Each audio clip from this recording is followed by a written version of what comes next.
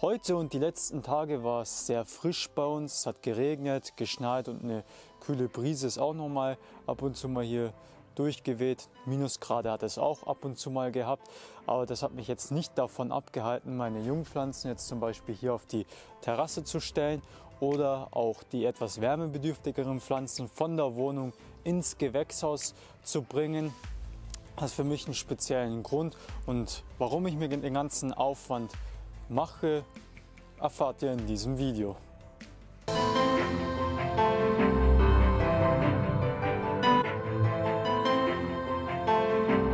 Hallo und herzlich willkommen hier auf diesem Kanal. Es freut mich wirklich sehr, dass ihr heute eingeschaltet habt und den ganzen Aufwand, warum ich jeden Tag so ungefähr eine Stunde bis eineinhalb Stunden die Kisten bzw. meine Jungpflanzen raus und wieder ins Haus reintrage, mit der Hilfe von meinen Eltern auch zum Beispiel, hat einfach folgenden Grund, dass sich jetzt die Jungpflanzen einerseits jetzt erstmal an die Kühle gewöhnen sollen, also zum Beispiel jetzt die ganzen Jungpflanzen hier auf der Terrasse, der ganze Salat, Kohlrabi und rote Beete, die kann man jetzt auch schon zum Beispiel ins Hochbeet rauspflanzen und die sollen sich einfach auf einigermaßen kühlere Temperaturen noch vorbereiten. Es kann ja passieren, dass zum Beispiel im April oder im Mai dann nochmal ja, kühlere Temperaturen kommen, auch Minusgrade und dass die Pflanzen da ein bisschen robuster und kräftiger sind und diese Kälte auch dann schon gewöhnt sind und diese auch überstehen. Die bilden dann auch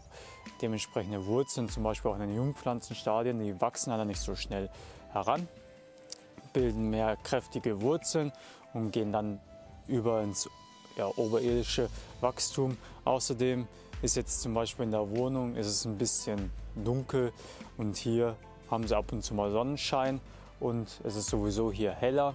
Das heißt, es ist kühl, es ist hell und das fördert auch dementsprechend einen Geilwuchs. Das heißt, mehr oder weniger kräftige Pflanzen entstehen halt auch dadurch. Im Gewächshaus so ziemlich dasselbe Prinzip, wo jetzt meine ganzen Auberginen, Paprikas, Chilis, Tomaten, Ingwer, Süßkartoffel und Kurkuma. Ich glaube noch ein paar weitere Pflanzen, wie zum Beispiel meine usbekischen Trauben. Die stehen halt im Gewächshaus auch wieder dasselbe Prinzip. Die haben es natürlich ein bisschen wärmer. Wenn da mal die Sonne reinknallt, dann sind es ungefähr 25 Grad. So soll auch dementsprechend gut passen. Und das andere ist halt, warum ich die jetzt schon auch im Februar, ich mache das schon seit einem Monat, dass ich sie immer rein und raus trage, ist, die gewöhnt sich dann schon schneller an die Sonne. Beziehungsweise sie bekommen weniger Sonnenbrand. Also wenn man jetzt zum Beispiel seine Pflanzen zwei oder drei Monate lang im Haus drin stehen hat und dann möchte man sie raus in die Sonne stellen, dann muss man halt auch ähm, aufpassen. Es passiert zum Beispiel, wenn man exotische Früchte wie Avocados aus dem Kern gezogen hat, die über den Winter drin hat und dann möchte man sie wieder rausstellen, dann bekommen sie so Sonnenbrand, also so weiße Flecken. Das heißt, dass die Pflanze bzw. die Blätter sich noch nicht an die ja, intensive Sonne gewöhnt hat, haben und das ist halt ein Grund, warum ich die jetzt schon rausgestellt habe. Da war die Sonne nicht ganz so intensiv, haben sich jetzt schon langsam gewöhnt, bilden neue kräftige Blätter und das ist auch ein Grund, warum ich das hier auch alles mache. Das Heraus- und Hereintragen der Kisten und der Jungpflanzen hilft mir auch zum Beispiel die Pflanzen besser zu beobachten. Also da kann ich zum Beispiel erkennen, ob irgendwelche Insekten oder kleine Tierchen an den Pflanzen, zum Beispiel Blattläuse, habe ich einige Probleme an meinen Auberginen, Paprika und Chilis. Die streife dann immer ein bisschen ab, wenn es zu viele werden. Und so kann man immer ein bisschen den Überblick über seine Pflanzen auch individuell haben. Wenn man jede Kiste einzeln trägt, hat man auch genug Zeit, sich die Pflanzen anzuschauen. Haben sie gelbe Blätter, haben sie Wurzelschäden von zum Beispiel Trauermücken, ist mir auch schon passiert. Muss ich sie pikieren? Wie geht es ihnen eigentlich? Müssen sie gegossen werden? Solche Sachen kann man dann sich ganz einfach anschauen, die Pflanze einfach individuell beobachten. Das ist dann auch sehr wichtig, um ein gewisses Feingefühl auch für die Pflanzen dann auch später zu bekommen. Und es entwickelt sich dann über die Jahre hinweg stetig weiter. Und sonst die letzten beiden Gründe, warum ich das auch mache, ist, ist einerseits eine sehr gute körperliche Aktivität. Das heißt, ich gehe zum Gewächshaus circa 10 bis 15 Meter immer hin und zurück. Stapeln natürlich dann auch ab und zu mal die Kisten und mit der ganzen Erde und wenn sie dann noch feucht sind, dann sind sie dann doch etwas schwerer. Dann ist es dann doch hm, ja, in gewisser Weise auch ein ja, Krafttraining zum, für nebenbei, zum nebenbei, für nebenbei und sonst, wie gesagt, wer rastet, der rostet. Ist halt einfach eine schöne Aktivität auch, um jung und fit und vital zu bleiben. Und das Letzte, warum ich das auch noch mache, ist, dass ich einfach mal ein bisschen abschalte, meine ja, Gedanken loslasse.